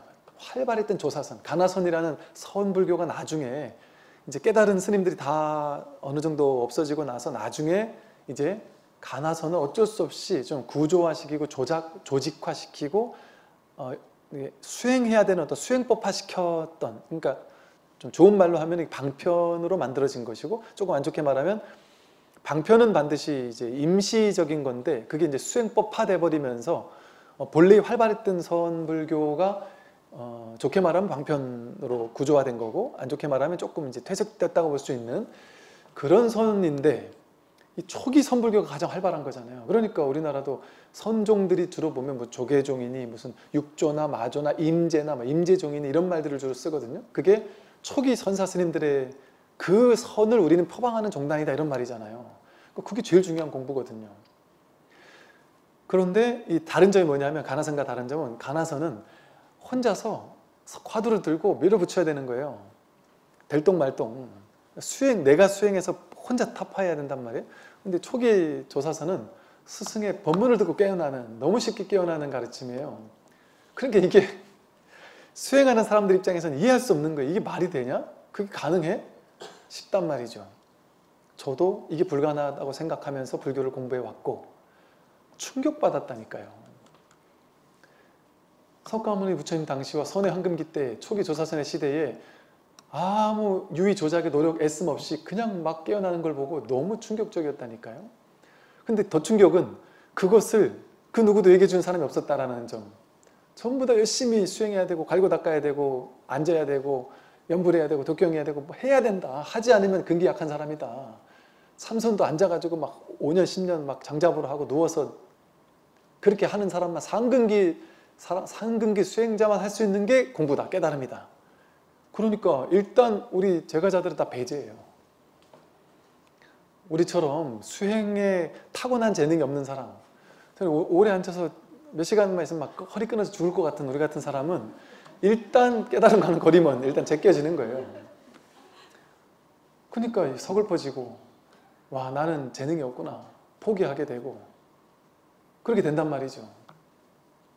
그 수행 위주의 공부에서는 그 제가 절망했었다니까요 한때. 이럴 리가 없는데. 이거는 무위법인데 해서 이 지공화상을 비롯해서 이 초기 선사 스님들의 시대를 다시 한번 되짚보다 보니까 전혀 이게 진짜 공부구나 이게 진짜 선이구나 하는 것을 알 수 있었어요. 제가 뭐랄까 제 공부에 대해서 정말 뭔지 모르겠는데 뭔지 모르겠는데 어떤 그 딱 전환되었던 어떤 순간이 있었는데 근데 이것을 딱 찍어서 이게 뭐다라고 얘기해 준 사람도 없었고 아무 그런 게 없었다 보니까 그 이후에 오랜 세월 혼자 막 방황하면서 혼자 여기저기서 찾다가 그러면서 이 선을 만나면서 점점 이렇게 명확해진달까? 아 그렇구나 그렇구나 근데 그것이 그냥 이거였구나 하는 것에 대해 점점 이렇게 그러면서도 계속 갸웃갸웃한 거예요. 설마 설마 이럴 수가 이런 걸 수가 그런 오랜 세월을 보내면서 점차적으로 이게 좀 말 그대로 그건 거예요. 신성취라고 부르거든요. 이 깨달음은 믿음이 성취된다. 옛날에도 제가 정말 이렇구나 이렇구나 있었지만 100% 확고부동한 믿음이랄까 이런 게 조금 부족하다 보니까 좀 자신감이 덜했다 내지는 아, 이럴 수가 있을까 하는 어떤 이런 것들이 이러면서 오랜 세월을 보내왔었거든요. 그래서 이 선, 초기 선이 아주 놀라운 가르침이고 그것을 첫 테이프를 끄는 스님이 바로 이 어찌 보면 이 지공화상이라고 할 수가 있고 아까 말한 그 직지가 위대한 이유는 뭐라 그랬냐면 직지가 위대한 이유는 이 백운경한 스님이요. 한국 불교에서 되게 놀라운 스님이에요. 저는 이 백운경한이라는 스님이 한국 불교에 계시다라는 게 와, 정말 너무 감동이었어요. 어찌 보면 지금 제가 이제 초기 조사선을 드러내야 됩니다 하고 이렇게 얘기하고 있는 작업을 저희 같은 요즘 사람, 요즘 몇몇 스님들이 이렇게 하는 게 아니었구나. 그 우리가 약간 좀 비주류인 것처럼 좀 이렇게 좀, 좀 어찌 보면 좀 욕도 먹고 있는단 말이죠. 그런데 아 우리만 이런 게 아니었구나. 고려 시대 때도 이랬던 스님이 있었구나. 그게 백운 경환이었어요. 백운 스님 어록이 지금 남아 있거든요. 이 백운 스님 어록을 보면 이 스님은 법을 깨달은 아주 안목이 투철한 스님이에요. 이 깨달음의 안목이 확실한 스님이에요. 근데 이 당시 주류가 아니었어요, 이 스님은. 그 당시 주류 스님들은 따로 있었단 말이죠. 그런데 이 스님이 이제 약간의 이제 뭐 완전 주류까지는 아니라도 약간 이제 그 주류 근처에 오게 됐을 때 그때 이제 왕에게 찾아가서 임금에게 지금 불교에 너무 유의 조작의 수행이 많은데 그것도 영 틀리다고 할 수는 없으나 초기 선불교 이 조사선을 다시 선양해야 된다. 이것을 이스님은 무심선이라고 불렀어요. 마음으로 유의 조작하는 선이 아니다. 본래 마음 없으면 딱 당도하는 이 본래의 본래적인 선 이것을 드러내야만 불교가 진짜 살고 이게 진짜 제대로 된 깨달음, 괴로움과 괴로움의 소멸에 이를 수 있다라는 것을 강력하게 막 건의하면서 이것을 주창할 수 있도록 해달라고 얘기하고 후배들 스님들에게 또 도반 스님들에게 초사선을 지금 선양해야만 한국 불교가 살아난다. 그 얘기를 고구정령하게 계속해서 했어요. 그런 사료들이 많이 남아 있어요. 그래서 이 스님이 약간 의도적으로 불교에서 선불교 하면은 우리는 다 저 저 보통 임재종 이런 말을 쓰거든요. 그래서 뭐 어찌 보면 한국 조계종도 어느 절들에 가면 아직도 임재종 이렇게 임재종 양기파의 후예다 이렇게 얘기를 한단 말이에요. 그러니까 즉 이 가나선의 핵심이 이제 임재 스님이고 그러다 보니까 임재 스님 아주 훌륭하신 안목을 갖춘 스님이에요. 근데 그 이후에 있는 제자 중에 누군가 이 그 임재종의 법맥에 있는 선에서 그 저 대해 스님이 서장이라는 걸 만들면서 가나선을 만들었단 말이죠. 이게 훌륭하기는 하나 이 스님이 의도적으로 이 라인을 다 빼버렸어요. 그게 이 스님 훌륭하지 않아서 뺀 것이 아니라 그 안목은 훌륭하나 의도적으로 이 가나선적인 요소를 가지고 있는 법맥을 싹 빼버렸어요. 대해 스님이라든지 원호 극근이라든지 임재 스님까지도 싹 빼버렸어요. 이 직지라는 책에. 그것은 뭘 의미하냐면 그 스님들 훌륭하지 않다는 얘기를 하고자 하는 게 아니라 이 직지는 오로지 조사선을 선양한다. 오로지 초기 선불교, 활발했던 그냥 무심선, 무심하게 와서 멍청하게 법문 듣는단 말이에요. 그냥 앉아서 수행하는 것도 아니고 기도하는 것도 아니고 연불 하는 것도 아니고 뭐 하는 게 아니다. 그런데 이렇게 법문 듣고 깨닫는다. 이것을 그렇게 강조했던 스님이 고르시대 때 이미 있었다라는 사실이 어, 놀랍게 그지없어요. 그리고 그 책을 이제서야 세계적으로 지금 주목받고 있고 지금에 와서는 이제 세계적으로 그렇게 다큐를 찍는 사람들이 이것의 이제는 문화재적 가치가 아니라 깨달음에 이 가치에 주목했다라는 거 이건 놀라운 하나의 힌트인 것 같고 메시지인 것 같고 이게 이제 앞으로 머지않아 지금은 명상의 시대잖아요. 지금 모름지기 웰빙 뭐 명상의 시대잖아요. 이게 이제 명상의 시대는 어떤 스님이 그러시대요. 명상의 시대는 아주 좋은 것이지만 한계를 가지고 있다. 왜냐하면 명상은 열심히 갈고 닦아야 된단 말이에요. 스님 저 3개월 어디 명상처 갔다 왔어요. 6개월 어디 갔다 왔어요. 이런 얘기 하는 사람들 세고 셌거든요. 계속 하는 사람들은 없어요. 이게 이제 명상의 단점이라는 거예요. 어느 시기에 3개월, 6개월, 1년, 2년 막 밀어붙여요. 그런데 그러고 나서 뭔가 변화되는 게 없단 말이에요. 괴로움이 해결됐다거나 내가 공부가 됐다거나 이런 얘기를 하는 사람이 거의 없단 말이에요. 명상하는 사람들 얘기 들어보세요. 뭔 얘기가 주로 있느냐 하면 나는 명상을 통해서 어떤 삼매를 증득했다. 어떤 체험을 했다. 이런 거 삼매 증득하는 이런 얘기를 주로 한단 말이에요. 왜? 명상을 하면 삼매를 증득하게 해줘요. 왜? 열심히 수행하면 수행에 대한 결과가 일어나요. 인과적으로. 그러니까 유의조작으로 만들어낸 거예요. 삼매는. 그러니까 부처님이 그걸 보시고서는 처음에 최고 단계 선정까지 갔다가 그거를 딱 포기했잖아요. 그리고 중도의 길을 가서 깨달으신 거 아니에요? 그래서 이 진짜 명상은 그렇게 유의조작으로 밀어붙이는 명상이 아니란 말이에요. 그런데 지금은 그 명상이 퍼져 있는 것도 좋은 일인데 그게 이제 한계에 부딪힐 거라는 거죠. 어떤 한계? 유의조작이라는 한계. 그래서 이걸로 공부 끝낼 수 없다라는 한계. 그리고 진이 빠진다는 한계. 힘은 들고 막 진이 빠져 죽겠는데 효과는 없. 이렇게 얘기하면 너무 센가? 그 대놓고 얘기하기 어려워 그렇지 그런 문제점이 어느 정도 노출, 노출되고 있어요. 그래서 뭐 어떤 스님도 그 얘기를 하시대요. 이제 선불교가 이제 등장할 시대다, 시대가 됐다. 그런데 이 조사선이라는 초기 진짜 선은 세계 무대에 한 번도 데뷔한 적이 없다는 거예요. 우리도 초기 선불교 지금 처음 알았잖아요. 요즘에 거의 처음 알잖아요. 우리도. 이게 요즘에 주목받기 시작한 게 얼마 안 됐어요. 요즘에 이제 많은 다양한 뭐 교수님들도 있고 어떤 뭐 다양한 출제가자들 사이에서 이 초기 선불교 이게 진짜구나라는 것을 이제는 조금씩 알아가는 사람들이 이제 막 많아지고 있어요. 심지어 어떤 교, 어, 뭐죠 그 학문 세미나 같은 데서도 이제 이런 것들 얘기하는 분들이 많아지고 있어요. 아직은 비주류라고 미, 말하는 사람도 있지만 그래서 이 명상의 진짜 명상은 이 선에 있다. 유의 조작하지 않는 명상 이게 진짜 명상이다. 그래서 이 아직까지 한 번도 세계 무대에 데뷔하지 않았던 진짜 명상, 진짜 선 이게 이제 인터넷이나 언론이나 이런 걸 통해 세계적으로 확 전파가 되기 시작하면 이건 이제 세계 문명을 바꿀 일이다. 이런 얘기를 하는데 충분히 가능한 얘기고 이게 이제 한국에 있는 이 초기 선 하는 사람만 하고 있는 게 아니거든요. 이게 세계적으로 미국의 유럽의 온갖 나라에 이 초기 선불교의 이 활발한 깨달음의 이 초기 선사 스님들의 어록들을 활발하게 전법하는 사람들이 많아지고 있어요. 그 사람들은 뭐 스님이다라는 거나 이렇게 뭐 종교라는 색 하나도 없이 없이 이것을 선양하는 사람들이 많아지고 있다니까요. 예, 종교와는 상관없는 거예요. 그래서 이제는 종교를 넘어서서 종교 비종교를 떠나서 이 공부가 이제는 상당히 이 세상에 중요해지는 시대가 분명히 올 거라고 저는 생각이 돼요. 저 20년 전만 해도 명상이 이렇게까지 세계적으로 인기 있을 거라고는 상상도 못했어요. 대기업에서 명상 강의 이렇게까지 많이 할 줄은 상상도 못했어요. 근데 요즘에는 대기업에서 명상 강의를 제가자들이 하는 명상 강의 이러면 대기업에서 엄청 섭외를 한대요. 근데 스님들은 섭외를 안 한대요. 왜? 스님들이 아무리 더 수준이 높은 강의를 해도 그는 종교야. 제낀다는 거죠.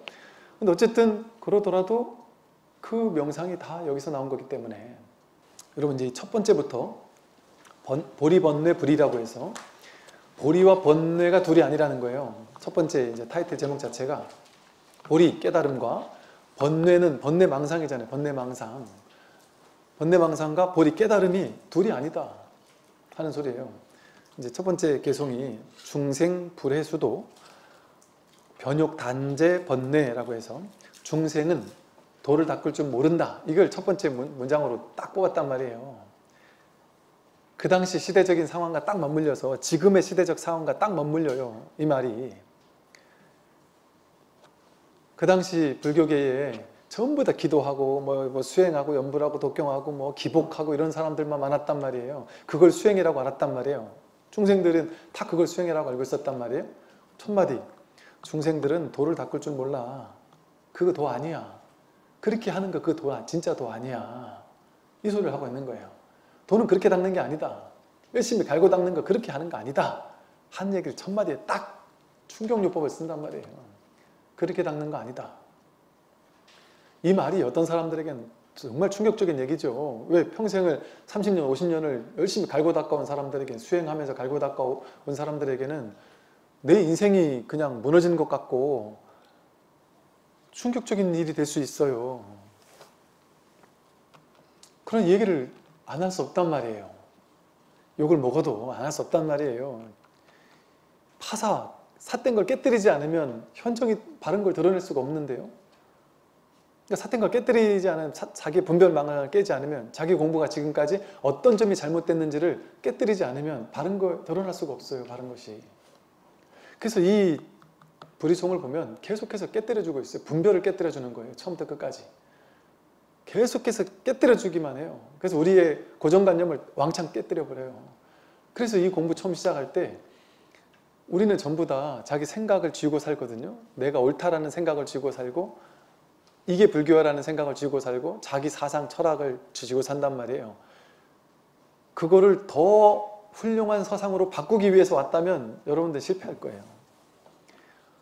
저는 더 훌륭한 사상으로 여러분의 사상을 바꿔드릴 마음이 없어요. 여러분들이 쥐고 있는 그 모든 것을 전부 다 빼앗아갈 마음만 있지. 다 깨뜨릴, 깨뜨릴, 거기에만 관심이 있지. 그러니까 자기가 깨지기 위해서 와야 돼요. 법문들을 올 때는. 내가 더 견고한, 더 좋은, 좀 안 좋은 교리는 버리고 더 좋은 교리를 쥐어야지. 그래서 나는 더 많이 아는 사람이 돼야지. 그렇게 공부하는 게 아니다. 그렇게 공부하는 게 아니라 내가 무너질 준비를 하고 와야 돼요. 그러니까 여러분 공부할 때요. 어, 조수님 좀 색다른 얘기하네. 혹은 어, 조수님 얘기 들어보니까 저게 맞는 말- 말 같은데 아, 저게 좀 예를 들어 뭐 수준이 좀 높은 것 같은데 어, 저게 맞는 것 같네. 나도 저걸 지어야지. 이런 마음으로 오면 안 된단 말이에요. 그리고 특히나 이 공부를 분별해 가지고 아 저 말은 맞는 것 같아. 저 말은 좀 아닌 것 같아. 그렇게 오시려면 그 유튜브로 듣고 있는 동안은 그렇게 하셔도 되죠. 왜냐면 유튜브로 듣고 있는 동안은 내가 누가 스승인지 모르잖아. 워낙 많으니까 세상에. 내가 이렇게 따져봐서 이게 훌륭한 거 아닌가 따져봐서 어느 거 들을지 결정해야 될 거 아니겠어요? 그럴 때는 그렇게 분별해서 내가 어- 어떤 분을 스승으로 삼아 공부를 할까 이렇게 마음은 먹어야 되겠지만 어차피 안과하는 마음으로 한 3개월, 6개월 딱 공부하겠다 하고 오셨다면 그런 마음으로 하면 이제 시간 낭비예요, 시간 낭비. 겉으로는 뭐 그럴 필요 없지만 내가 속으로 내 마음에서는 내가 따지고 분별해서 저 사람 설법 잘하나, 저 사람 말 잘하나, 저 사람 수, 뭐 수준이 됐나 안 됐나 뭐 판단하고 평가하고 좋은 게 있으면 내가 하나 뺏어가야지, 내가 하나 쥐어야지 이런 시- 시비 분별하는 마음으로 공부를 해도 어쩔 수는 없는데 그렇게 하면 자기 공부에 도움이 그닥 안 된다. 그러니까 딱 왔다면 그냥 내가 나를 놔버려야 돼요. 나를 확 놔버리고 나는 아무것도 모른다. 모를 뿐 하는 마음으로 오고 저 양반이 저렇게 얘기하는 데는 나 내 뜻과 달라도 나는 모르고 저 사람은 알, 알겠지. 내가 모르는 걸 저 사람 내가 모르는 이유가 있겠지. 내가 아직 깨어지지가 않았으니까 내 분별이 깨어지지가 않았으니까 저게 소화가 안 되는 거겠지. 그런 마음으로 나는 틀렸고 일단 한번 들어보자 하는 마음으로 들어야 이게 훅 소화가 되기가 쉬워지지. 계산하고 판단하고 따지고 맞냐 틀리나 머리로 계속 분별하고 아니 머리로 정리하고 정리 안 되는 게 있잖아요. 이해 안 되는 게 있을 때 어떻게든 머리를 써서 정리하려고 하지 마세요. 그냥 이해 안 되는 거 있을 때는 턱 이해하지 마세요. 그렇게 공부를 해야 돼요. 머리 굴려가지고 양자 물리학에서 막 빌어오면 이렇게 이렇게 이게 무아라랬던데 그렇게 해서 딱 알아버리면 그 다음부터 그거를 아는 거니까 대충 들어요. 아는 건 원래 우리가 관심 없거든요. 몰라야 뭐지 하고 집중해서 듣는단 말이에요. 그러니까 모르는 게 좋은 거예요, 이 공부는. 그러니까 알려고 하는 마음으로 공부하면 안 된다. 그래서 첫째, 우리 첫 번째부터 자 깨뜨리는 거죠. 여러분이 지금까지 기도하고 연불하고 독경하고 수행하고 좌선하고 온갖 수행법을 해왔다 할지라도 그건 돌을 닦을 줄 모르는 일이다. 그건 중생에 중생은 돌을 닦을 줄 모른다. 중생들이 그렇게 유의 조작 해서 했던 그거에 불과하다 하는 소리예요. 그렇게 돌을 닦을 줄 모르니까 중생들은 뭘 하느냐? 곧장 번뇌를 끊어 없애려고만 한다. 지금 명상단체 가면 또는 다양한 수행한다 하는 곳에 가면 여러분들도 그런 생각하는 분들 많을 거예요. 아, 분별심이 문제구나. 본문 들어보면 딱 결론 나오잖아요. 아, 분별심이 문제구나. 그럼 답이 딱 나오잖아요. 결론을 내버려요. 아, 분별심 문제니까 분별심 없애면 된다는 얘기구나. 그래서 생각 일어나면 생각 일어나면 다 분별심이잖아요. 그러니까 생각 일어나면 생각을 없애버려. 생각과 싸워 이기려고 하고 관찰해서 없애고 생각 일어나면 연불해서 없애고 생각 일어나면 막 화를 내요 짜증을 내요 난 왜 이렇게 생각이 많아 그래서 한 제가 한 30분 연, 좌선을 하고 났더니 막더 화가 나던데요 왜요? 그래 30분 앉아 있었는데 내가 한, 한 2, 3분은 집중하다가 한 27분은 자꾸 분별심만 더 일어나더라고요. 그러면서 실패했다고 생각한단 말이에요. 그전에 분별을 못 보다가 온통 분별이 일어나는군 하고 본 게 공부인데 그러니까 즉 우리는 수행을 통해서 번뇌망상이 일어나는 것을 없애야 된다고 생각해요. 번뇌망상이 일어날 때 번뇌망상을 없애버려요. 없애버리는데 성공하는 사람은 수행 잘하는 사람 없애버리는데 성공 못하는 사람은 수행 못하는 사람 이렇게 생각해요 그러니까 단골 질문이 뭐냐 하면 스님 분별망상을 없애야 되는데 그럼 어떻게 살죠 사람이? 그럼 살 수가 없는데요? 모든 게 다 분별망상인데 어떻게 살아요? 그런 질문을 해요. 그러면 단골로 하는 답변이 뭐냐면 맨날 그 질문이니까 전부 다. 그 단골로 하는 답변이 뭐냐면 하되 함이 없이 하라는 거지. 아예 하지 말란 말이 아니다. 분별해야 돼요. 근데 함이 없이 한다라는 말이 무슨 말이겠어요? 번뇌, 분별심, 이걸 여기서 번뇌망상이라 했단 말이에요. 번뇌망상, 분별심 일어나지 않을 수가 없어요. 일어납니다. 그리고 일어나야 됩니다. 번뇌를 없애야 되는 것이 아니라 만약에 번뇌를 없애야 되는 거면 부처님은 번뇌를 완벽하게 없앤 분이겠죠? 큰 스님들은? 그러면 부처님은 분별을 못하는 분인가요? 아무것도 모를 거 아니에요. 분별을 못한다는 건 뭐예요? 비교 분별. 큰지 작은지 이 사람인지 저 사람인지 안한 존재인지 가섭 존재인지 그것도 모르, 모르냔 말이에요. 생김새를 보고 분, 분별할 줄 안단 말이에요. 부처님도. 내가 절에서 탁발하러 나갔으면 다시 절로 돌아가야 되잖아요. 어, 분별이 완전히 없으면 내가 절로 가는 길도 모를게요. 집에 갈 때 몇 번 버스 타고 가야 될지도 모른단 말이에요. 분별을 하지 못한다면. 그 인생을 살 수가 없어요. 그 그렇게 바보가 되라는 게 아니죠. 갓난애기로 돌아가라는 얘기가 아니란 말이에요. 그래서 이, 이, 법을 확인했다. 내가, 내가 누군지 내가 자기 성품 확인했다 하는 분들이 확인하고 나서 한 3년, 5년 지났다 이런 분들도 단골로 묻는 질문이 그거예요. 하, 제가 분명히 그때는 확인한 게 확실한 것 같고 분명히 내가 마음도 가벼워졌고 현실도 많이 바뀌고 안목도 좀 달라지고 선호록 같은 걸 봐도 정말 소화가 되고 많이 좀 쉬워지긴 했는데 뭔가 찜찜한 게 자꾸 남아 있습니다. 뭐냐 여쭤보면 내가 진짜 깨달았으면 분별이 싹 사라져야 되는데 분별이 사라지질 않습니다. 그리고 뭔가 현실에서 남들이 나한테 시비를 걸면 화가 일어나지 않아야 되는데 시비 걸면 화가 난다는 거예요. 그러면서 나는 제대로 된 수행자가 아니라는 거예요. 제대로 깨친 게 아닌가 봐요. 이런단 말이에요. 뭐를 분별할 일이 있을 때 분별을 한단 말이죠. 그걸 문제라고 여긴단 말이죠. 그걸 깨기가 쉽지 않은 거예요. 그걸 깨기가. 그 분별이 일어나지 않는 게 깨달은 게 아니에요. 아니 누가 나한테 칼을 들고 죽이려고 쫓아오면 아니면 호랑이가 날 잡아먹겠다고 쫓아오면 분별하지 않아서 죽으나 사나 둘이 아니니까 생사가 둘이 아니니까 잡아먹으십시오 하고 잡아먹히는 것과 먹히지 않는 게 둘이 아니야 하고 가만히 있는 게 아니란 말이에요. 누가 칼 들고 죽이겠다고 쫓아오면은 냅다 잘 도망가는 게 부처지. 가만히 앉아서 그냥 팍 찔리는데도 나는 안 아파요 하고 그냥 가만히 앉아 있는 게 그게 부처겠냔 말이에요. 누가 말도 안 되는 거 가지고 막 화를 버럭 내고 막 하면 대응해야죠.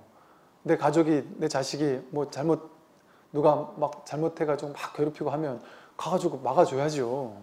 싸운 일이 있더라도. 인연 따라. 그 부처가 바보 되려고 한 부처 되는 게 아니잖아요, 우리가. 그죠? 그러니까 분별을 끊어 없애야 되는 것이 아닙니다. 분별의 뿌리가 공했다라는 사실을 그냥 깨닫는 거예요. 그러고 나면 분별이 일어나지 않는 게 아니라 분별은 그대로 일어납니다. 그런데 분별이 공했다라는 사실을 자각하는 거예요.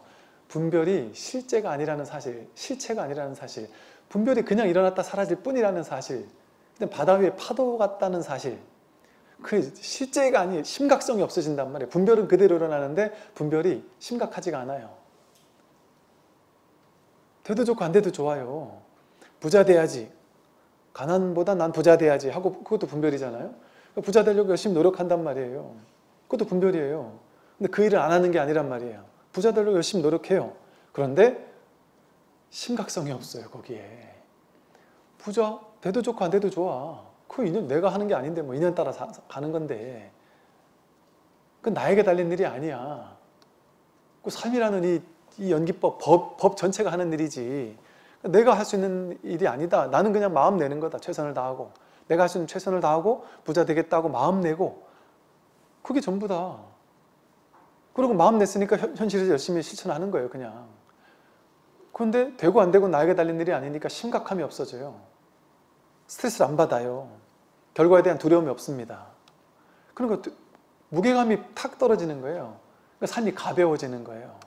어떤 사람은 중생들은 번뇌에 휘둘려 가지고 돈 벌어야 돼 집착해서 돈 못 벌면 스트레스 받아 죽을 것 같고 돈 벌면 막 행복해 죽을 것 같고 그런데 깨달은 사람은 벌겠다 하는 마음 여전히 있단 말이에요. 그런데 그냥 가볍게 돈 버는 거예요 그냥 벌려도 좋고 안 벌려도 좋고 최선을 다하는 거예요.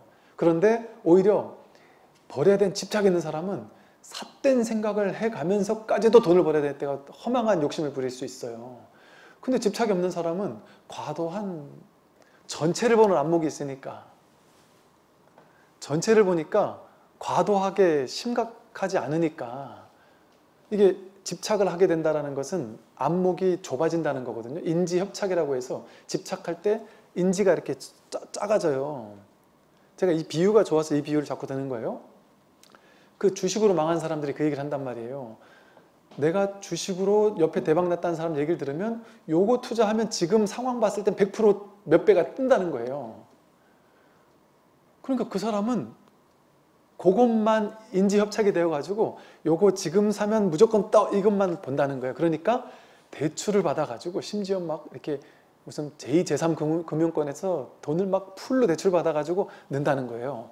어차피 이걸로 몇배뜰 거니까. 그거는 지금 요것만 보고 있는 거잖아요. 전체를 못 보는 거잖아요. 그 욕심에 집착하고 있는 거잖아요. 이런 일이 벌어진다니까요. 시야가 좁아져요. 전체를 못 봐요. 그러니까 그런 삿된 일을 합니다. 진급 달려있는 사람이 내 경쟁자를 막 뒤에 가서 욕하거나 막 이런 식의 안 좋은 일을 해가면서까지도 왜 욕심이 과해지니까 내가 그렇게 하면 될 줄 안단 말이에요. 그런데 심각성이 사라지면 그러더라도 여전히 돈도 벌고 진급도 해야 되고 자식도 키워야 되고 자식 뒷바라지해서 좋은 대학도 보내야 되고 할 거 다 한단 말이에요. 할 거 다 하는데 과도하게 하지 않아요. 할 수 있는 만큼만 하고 전체를 볼 수 있으니까 지금 여기서 애가 공부를 쪼아가지고 애가 스트레스 받아, 받으면서 스트레스 받으면서 정말 비정상적으로 크면서 공부 잘하는 것보다 지금 마음이 행복하게 크는 게 공부 좀 잘하는 것보다 훨 낫다는 걸 알아요. 전체를 볼 수 있으니까. 저절로 전체를 보는 시야가 안목이 있단 말이죠. 그러니까 과도하게 무리수를 안 둔단 말이에요. 인생에. 과도하게 집착하지 않아요. 그거는 이완된 사람만이 가능해요. 집착이 없는 사람만이 가능해요.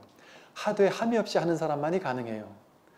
분별하되 분별에 걸리지 않는 사람, 분별하되 분별에 심각함이 없는 사람, 취사 간택을 하는데 취하는 거에도 버리는 거에도 과도하지 않은 사람 그런 사람의 삶의 방식은 어떨까요? 이렇게 번뇌 망상을 반드시 끊어 없애야 돼! 이, 이 생각만 하는, 하는 사람은 번뇌는 끊어 없애야 되고 버려야 되는 거 그리고 좋은 건 어때요? 반대로 어떻게 생각해요? 좋은 거는 반드시 가져야 돼 이런단 말이에요. 나쁜 거 좋은 걸 둘로 나눠가지고 번뇌는 끈 없애야 되고 좋은 거는 더 많이 가져야 돼 심각하게 집착한단 말이에요. 그러니까 좋은 건 더 많이 가지기 위해서 심각하게 노력해야 되고 나쁜 거는 버리기 위해서 심각하게 노력해야 되니까 인생이 피곤해요. 스트레스 받고 할 일이 많고 해도 해도 끝이 없어요. 근데 이렇게 번뇌를 끊어 없애려는 취사간택, 버리려는 집착도 없고 취하려는 집착도 없는 사람은 어떤 사람이겠어요? 삶을 있는 그대로 허용하는 사람이죠. 있는 그대로 받아들이는 사람이에요. 지금 벌어지고 있는 이 삶이 통으로 자기지 이 몸이 자기가 아니라니까요. 이 법계 법신 부처님이 진짜 나의 참 부처라니까요. 그러니까 나의 참 부처를 법신불이라고 부르잖아요. 근데 법신불은 뭐가 법신불이에요? 두두 만물 만상 내 삶 눈앞 전체가 법신불이란 말이에요. 우주 전체가 법신불이란 말이에요. 근데 법신불이 부처로서 드러나 있습니다. 지금 매 순간 현현되어 있어요. 그런데 부처로서 100% 완전하게 드러나는 이 법신부처님의 삶을 생각 하나가 자기 분별심 하나가 번뇌망상 하나가 분별심을 가지고 남들과 비교해서 나는 저 사람보다 더 부자가 돼야 돼. 나는 저 사람보다 얼굴이 더 이뻐야 돼. 저 사람보다 내 자식이 더 좋은 대학 가야 돼. 온갖 비교 분별을 하고 그 분별한 생각을 집착한단 말이에요. 심각해 하고 그 생각을 옳은 것처럼 굳게 믿고 그러니까 그 생각이 심각해져요 인생에서 그러니까 그 생각을 믿고 그 생각을 쫓아가는 거예요 이제 분별망상 취사 간택심이라는 이 분별망상 여기에 이제 노예처럼 살아가요 평생 좋은 것 취하기 위해서 살고 평생 싫은 거 내 인생에서 없애기 위해서 사는 우리 인생 그것밖에 없지 않아요? 좋은 거 더 많이 가지려고 싫은 거 없애려고 그걸 위해서 끊임없이 달려가잖아요. 잠시도 쉴 수 없어요. 그런데 이 깨달은 사람은 내가 원하는 걸 다 가질 수 있고 내가 싫어하는 걸다 없앨 수 있는 사람하고는 거리가 멀어요. 그런 사람이 아니에요. 그래서 법신부처님을 자수영신 자기 스스로 본래가 스스로 수용한, 수용할 줄 아는 신이란 말이에요. 본래가 수용되고 있구나. 삶이 진실이 100% 이렇게 현현되고 있구나. 원망부족하게 수용되고 있구나라는 것을 문득 깨달은 분이 부처님이에요. 그러니까 과도하게 취할 것도 없고 과도하게 버릴 것도 없는데 그렇다고 아무것도 안 하고 사는 사람이 아니에요. 하루에 함이 없이 한단 말이에요. 현실은 살아야 되니까 현실을 무시하지도 않는단 말이에요. 그러니까 한단 말이에요. 근데 출세관을 무시하지도 않으니까 함이 없이 한단 말이에요. 그러니까 하되 함이 없이 한다라는 것은 현실 세계, 사법계와 이상 세계, 이법계, 진리의 세계와 현실 세계를 아울러 살아가는 균형 갖춘 중도적인 공부인이 되는 거예요. 그러니까 이 중, 균형 잡힌 중도를 실천하는 공부인이 되는 것은 현실에서 너무 쉬워서 할 일이 없는 거예요. 지금 이렇게 살면 되니까. 취사간택만 하지 않고 내가 하고 싶은 거 하면서 살면 되니까. 하고 싶은 거 하지 말라는 게 아니잖아요. 억지로 여러분 두타행을 해가지고 억지로 돈 다 버리고 무소유하고 억지로 아무것도 하지 마라? 그게 불교가 아니에요. 그건 너무 하는 거에 집착해 있으니까 집착에 집착해 있는 사람에게 방편으로 쓴 말이지.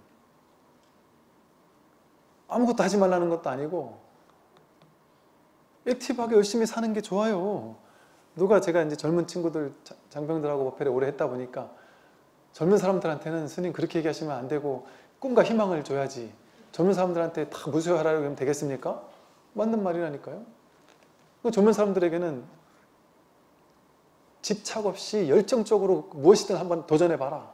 그러나 진짜 멋있는 사람은 이거 아니면 절대 안 되는데 하면서 열심히 하는 사람은 그거는 그거는 진짜 멋있는 사람이 아니다. 진짜 멋있고 힘 있는 사람은 무엇이든 최선을 다하는데 결과에 전혀 두려워하지 않는 사람.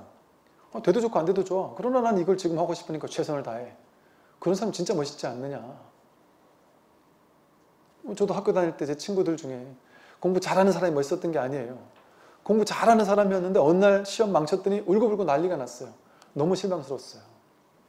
그런데 진짜 멋있는 사람은 시험을 잘 보든 못 보든 늘 그냥 긍정적인 친구들이 있어요. 그냥 밝고 아이고 뭐 시험 이미 끝났는데 어쩌라고 다음 시험 열심히 하면 되지.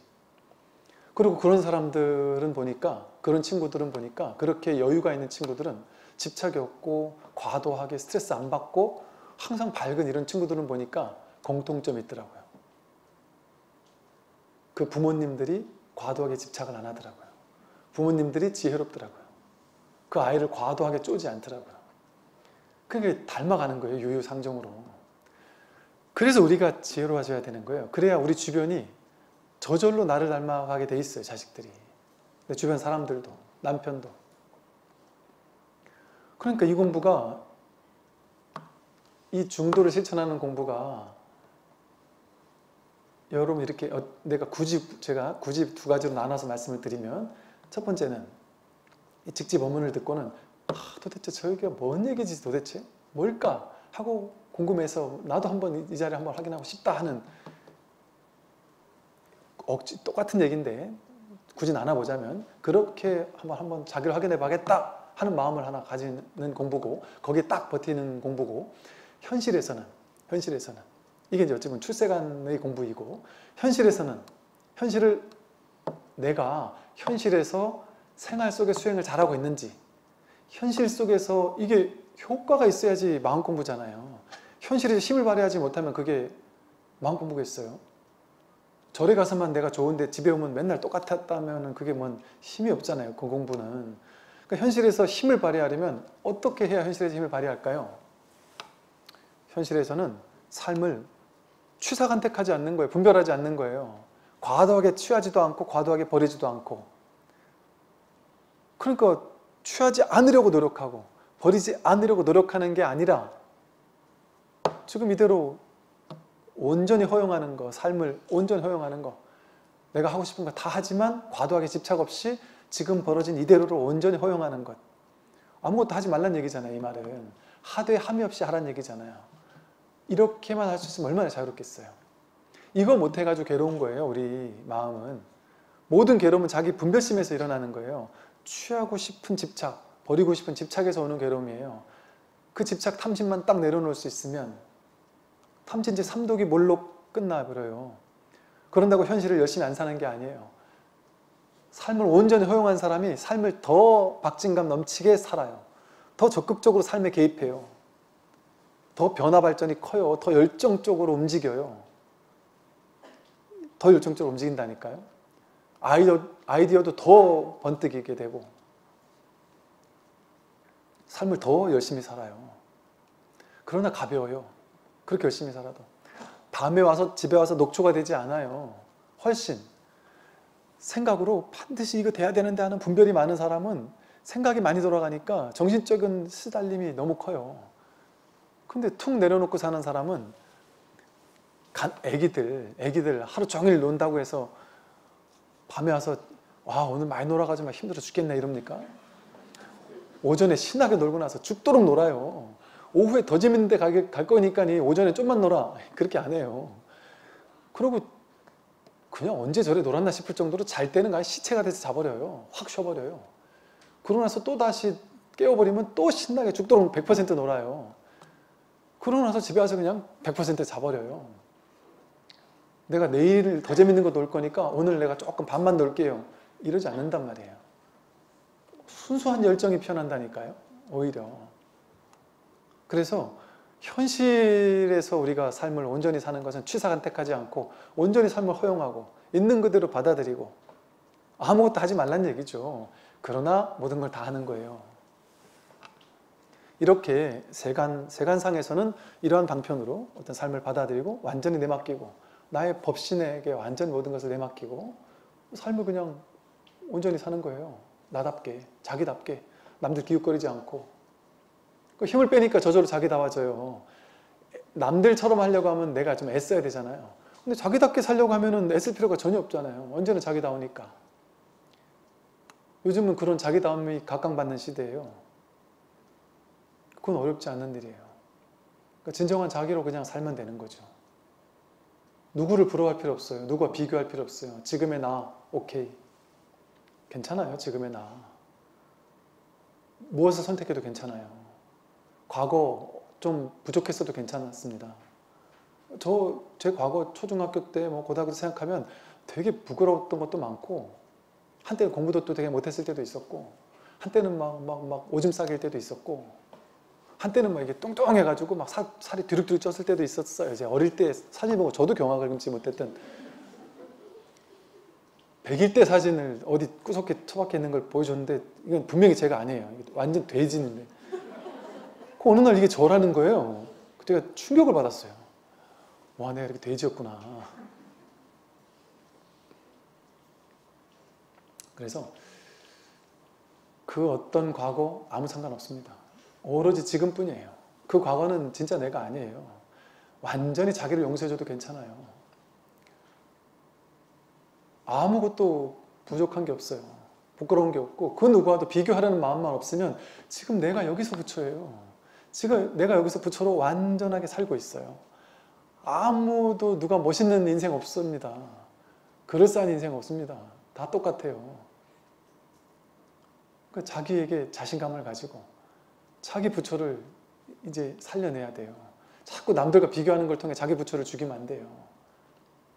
그래서 앞으로 이제 몇 달간 우리가 이제 지공화상의 공부를 통해서 조금 더 한 발 성큼 우리가 이 공부에 다가설 수 있는 공부를 꾸준히 한번 하도록 하겠습니다. 오늘 오랜 시간 들으신다고 고생하셨고 다리를 항상 앞으로 피십시오. 수고하셨습니다.